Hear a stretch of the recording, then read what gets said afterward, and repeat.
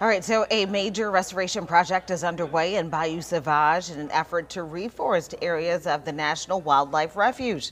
So here to show us why this is so important is WDSU meteorologist Lee Southwick. Hey guys, I'm in Bayou Sauvage and we're here for an important reason. I'm joined by Charlotte Clark, Director of Common Ground Relief. Charlotte, why are we out here today?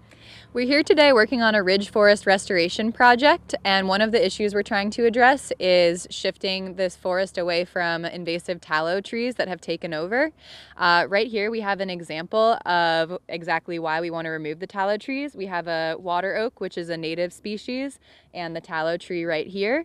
Um, they've been competing for sunlight, so we can see that the water oak has grown um, very narrow and um, is unfortunately shorter than the neighboring tallow tree.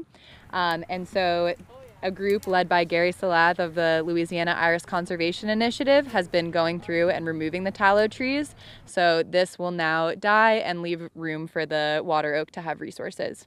Um, and so today we're also following up and planting a lot more new trees to take up the space that's been opened up thanks to the removal of tallow trees. And we're really thankful to the volunteers and par partners that have made that possible. Who all are you working with today?